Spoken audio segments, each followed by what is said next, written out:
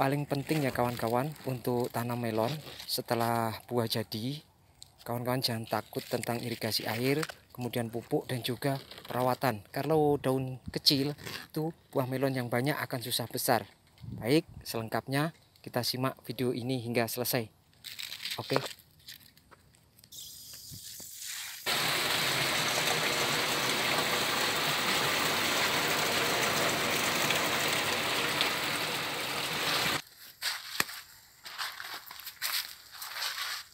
Selamat siang, Assalamualaikum warahmatullahi wabarakatuh.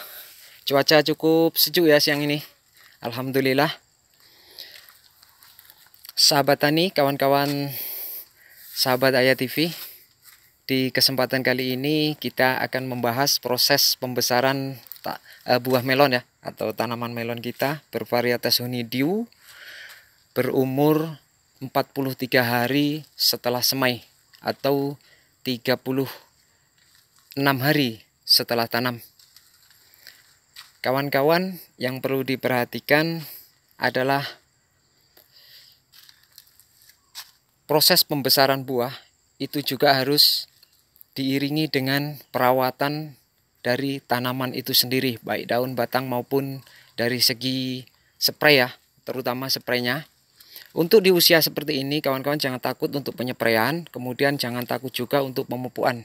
Karena pembesaran buah melon itu harus diiringi dengan pola pemupukan yang rutin dan juga berani ya.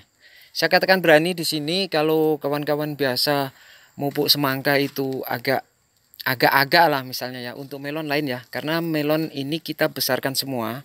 Jadi intinya kita pompa dulu yang di atas plastik biar keluar dulu buah yang E. Karena melon ini tidak terbatas untuk buahnya seandainya tidak terjadi kerontokan buah.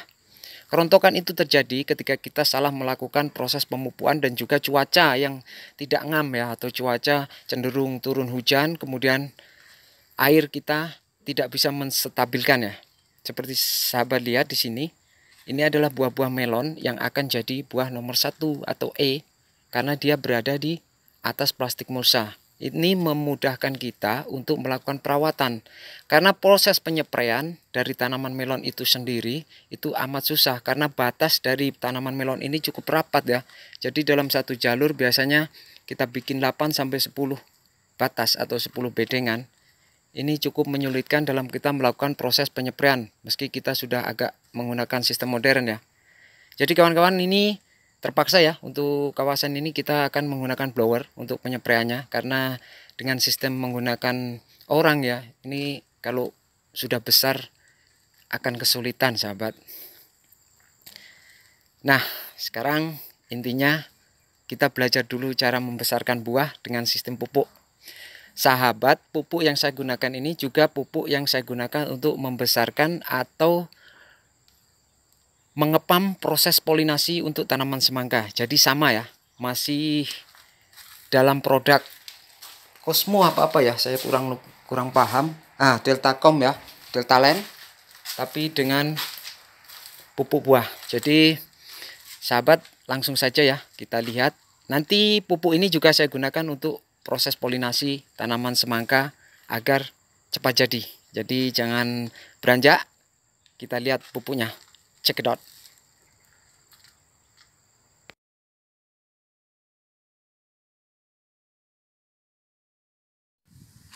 dan inilah kawan-kawan pupuknya yang saya pakai 12 12 17 plus TE produk Delta Line ya atau merek dagang Delta Line. Ini sebangsa atau sept ya kalau kita katakan dengan pupuk pertumbuhan yang kita pakai atau baja pokoknya cukup ringan untuk baja buahnya. Ini ringan jangan sampai lama durasinya ya. Maksudnya jangan sampai lama jangan sampai nanti di umur 50 kita masih pakai ini ya. Paling banter ini ke umur 47 setelah itu kita sambung. Kalau ada 15 5 30 ya super. Jadi nanti di akhir dari finishing sahabat dapat lihat pemupukannya dan hasilnya. Fungsinya ini untuk merangsang dari proses pembesarannya sendiri karena buahnya banyak. Jadinya kita harus memberikan rangsangan penyerataan atau kok saya susah yang ngomong rata gitu ya. Mohon maaf ya ini kandungannya sahabat bisa lihat. Dan semoga video-video yang saya sharing ada manfaatnya untuk sahabat semua. Masih banyak yang harus kita lakukan terutama penyepraian nanti akan saya buatkan videonya sendiri untuk penyepraian konten-konten dari Ayat TV semoga bermanfaat berguna untuk masyarakat banyak dan orang banyak ya terutama yang kita sama-sama belajar berbudidaya baik semangka maupun melon. Insya Allah kita akan sambung lagi di proses berikutnya. Dan setelah video ini saya akan buatkan sebuah video yang mana perawatan dari proses polinasi semangka agar buahnya insya Allah jadi semua. Oke, terima kasih atas perhatiannya. Sampai jumpa di lain waktu dan kesempatan. Assalamualaikum warahmatullahi wabarakatuh.